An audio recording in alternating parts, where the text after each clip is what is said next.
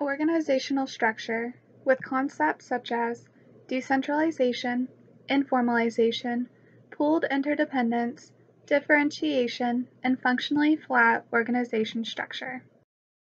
Bob, the Southern Regional Manager for Softtek, is looking to make some changes at the company. While at a company conference, Bob states, Softtek will improve its technological capabilities so we are better able to increase our revenues and cut back on our expenses.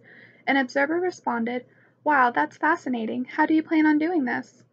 Bob says, We're going to integrate our computer systems to a more cloud based technology that will allow us to better serve our customers. As you can see by our numbers, our customers have a strong need for a more integrated approach to our technological means of delivering our products. Mel asks, How will this help expand our revenues?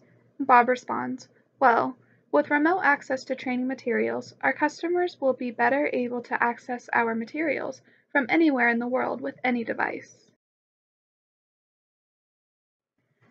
This will allow us to significantly reduce our on-site maintenance and allow us to decrease our number of customer service representatives, which will allow us to focus on growth in other areas.